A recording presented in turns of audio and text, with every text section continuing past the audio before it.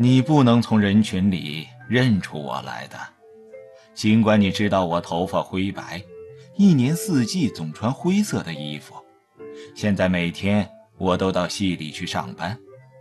在我的办公桌上放了一个老式的墨水池，那东西看上去像个眼镜。左边的一个墨水瓶里是红墨水，右边一个是蓝墨水，中间的凹槽里放了好多蘸水笔尖儿。每天早上我来的时候。都要仔细地把笔尖挑选一遍，把磨秃了的笔尖剪出来，包在一张纸里，扔进废纸篓，然后戴上老花镜批阅学生的作业。这些学生是加州伯克利教的。批完之后，我把这些作业本拿到对面他的办公桌上，然后看教科书的教样。到十一点钟。我到厕所去洗手，准备回家。有人在洗手池上放了一撮洗衣粉，用它可以去掉手上的墨水渍。我就是这样一天天老下去了。从这个样子，你绝看不出我每天每夜每小时每一分钟都在想入非非，怀念着十七岁时见到的紫色天空。岸边长满绿色芦苇的河流，还有我的马兄弟。我本来不是这样，是装成这样的。你不可能从一个消瘦憔悴的数学教师身上看到这些。有关人随时在想些什么，我只知道一个例子，就是我自己。别人不可能把一切都告诉我。所以我只好推己及人，在统计学上可以证明，以一个例子的样本来推论无限总体，这种方法十分之坏。安妮·弗兰克就犯了这种错误，从自己是善良的推出了所有的人都是善良的，虽然这份善良被深藏在心。这个推论简直是黑色幽默。但是在这件事上，没有别的办法了。到目前为止，没有一件事能让我相信我是对的，就是人生来有趣，过去有趣，渴望有趣，内心有趣，却假装无趣。也没有一件事能证明我是错的，让我相信人生来无趣。过去无趣，现在也无趣。不喜欢有趣的事，而且是表里如一。所以到目前为止，我只能强忍着绝望，活在世界上，寻找无双。建元年间，王仙客到长安城里找无双。据他自己说，无双是这副模样：矮矮的个子，圆圆的脸，穿着半截袖子的小褂子和半截裤管的半短裤，手脚都被太阳晒得黝黑，眉毛稀稀拉拉的，头上梳了两把小刷子，脚下蹬了一双踏拉板走到哪里都是哗啦啦的响。就这个样子而言。可以说是莫辨男女，所以别人也不知道他来找谁。王仙客只好羞羞答答的补充说：“那个无双虽然是假小子模样，但是小屁股撅得很高，一望就知是个女孩子。除此之外，她的嘴很大，叫起来的声音很响，尤其是她只要见到一个心不在焉的人。”就会从背后偷偷摸上去，在人家耳畔大叫一声，在这样近的距离内，他的声音足以把人家的耳膜吼破。他还有一匹小马，经常骑在马上出来，在马背上发射弹弓。他的弹丸是铜做的，打到人头上足可以把皮肉都打破。假如不是那时的人都留了很厚的头发。连脑子都能打出来，就是因为他的弹弓，附近的邻居常常顶着铁锅走路，而且他总是大叉着腿骑在马上，这对于女孩子来说是大大的要不得。像这样女霸王一类的人物，一定是远近闻名。但是王仙客在宣阳坊里打听无双时，人人都说没见过。王仙客到宣阳坊找无双。宣阳坊是个大院子，周围围着三丈高的土坯墙。本来它有四个大门，但是其中三个早已封死了，所以你只能从北门进去，这样大家都觉得安全。坊墙里面长着一围大柳树，但是柳树早就死掉了，连树皮都被人剥光了，树底下都是虫子屎。坊中间是一横一竖两条大街，大街两边都是店铺，店铺里住着各位老板，大家互相都认识，大家生意都不好。在宣阳坊里，没人关心你的事儿，除非你得罪了人。假如你得罪了人，被得罪的人就盼着你早点死，或者走路不小心踩到了钉板上。脚心扎上一个窟窿，然后就得了破伤风，或者被疯狗咬上一口，死于狂犬病。你要不能劳他一指之力就死了，他会很高兴；你要是一直不肯死，他就会把你忘了。王仙客说，以前他在宣阳房里住过，虽然离开了三四年，宣阳坊里景物已变。但还能认出个大概，他甚至还能影影绰绰认出一些人来。比方说，他还能认出开绒线铺的侯老板，还有老坊吏王安。但是这两位先生对着王仙客看了老半天，最后说：“以前没见过王仙客。”不但如此，他们两位对王仙客说认识他们，还感到很是不快。这是因为他们俩都有很显著的特征，老王安只有一只右眼，而侯老板的下巴很短，以致下嘴唇够不着上牙。其实说侯老板有所谓下巴，实在是很勉强，他不过是在脖子上方长了一个肉瘤罢了。因为没有下巴，所以侯老板的上牙全露在外面，被冷风吹着。经常凉疼起来，不能吃硬东西。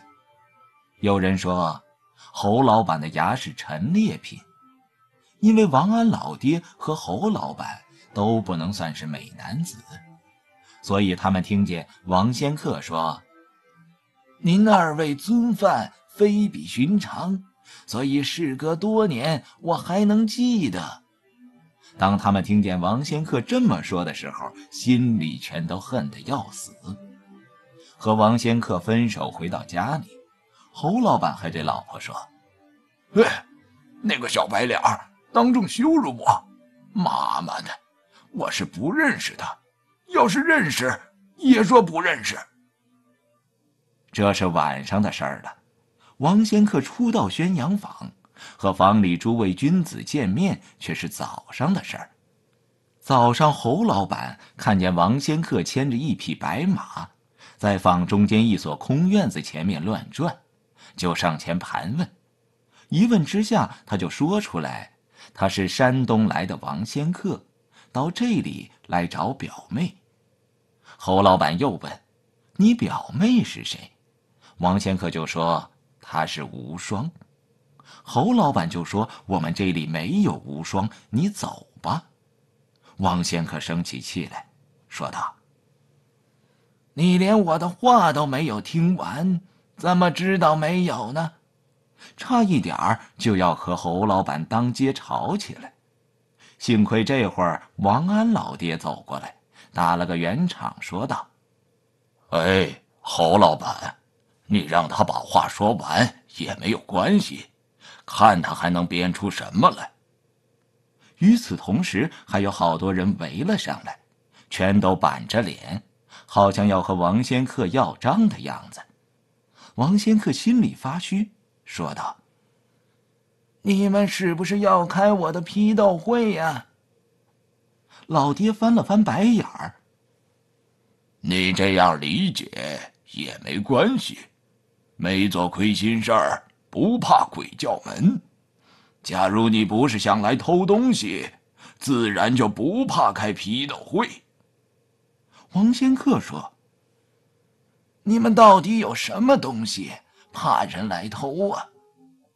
老爹回答：“这个可不能告诉你。说你那个无双吧。”说话之间，王安老爹掏出个小本子来，还有一支自来水的毛笔，摆出一个衙门里录口供的架势。王仙客接着讲他的无双。禁不住有点结巴了。就在这时，他想和侯老板、王安老爹套近乎，但是侯老板和老爹都说不认识他，叫他讨了个大没趣儿。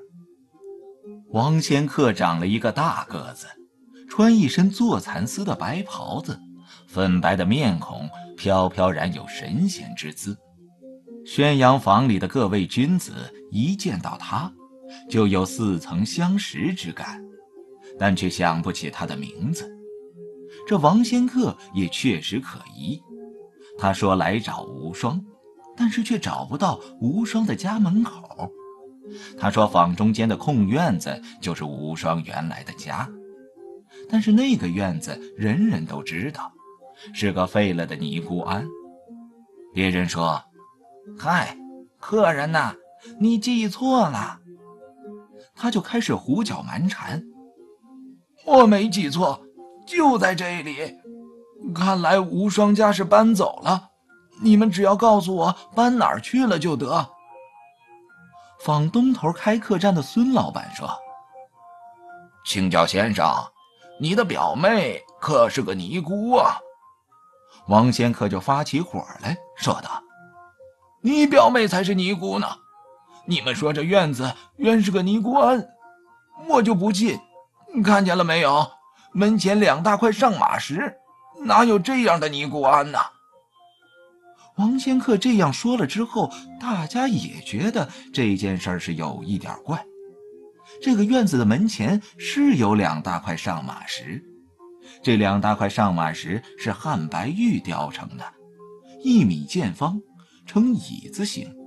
四面都雕有花纹，每块大约有一吨重。不要说石料雕工，就是从城外运来也够麻烦的了。要不是官宦人家摆场面，要这东西干嘛呀？而且谁也不记得曾经看见过一个老尼姑手捏着佛珠从院里走出来，从这两块石头之一上面跳上马背。这种场面虽不是不可能。但是很陌生，而且这种景象也甚是古怪。佛门中人说，马是他们的弟兄，所以绝不肯骑马。王仙客提出了这个问题，大家顿时为之语塞。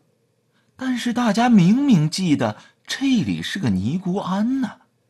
有关这座尼庵的故事是这样的：过去这庵里供奉着观音菩萨。香火极盛，长安城里多少达官贵人的夫人太太都到这里来上香。后来庵里的尼姑不守清规，争风吃醋，闹出人命来，官府就把这庵封掉了。听了这些话，王仙客倒也半信半疑。大家又告诉他说：“可能你记错了地方。”也许令表妹不住在宣阳坊，而是在别的坊。您要知道，长安城里七十二坊有好几个外表一模一样。听了这些话，王仙客自己也说很可能记错了，骑上马到别的房里去找了。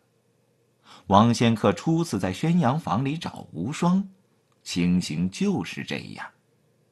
宣阳坊里的各位君子后来提起这件事儿，是这么说的：“嗨，三句话就把那小子打发走了，感觉很是痛快。只有王安老爹心有未甘，觉得那个王仙客行迹可疑，不该就这样放他走了。就算真是来找表妹，找错了地方。从他说的情况来看，那个无双也不是好东西。女孩子叉着腿骑在马上，长大了一定是个淫妇。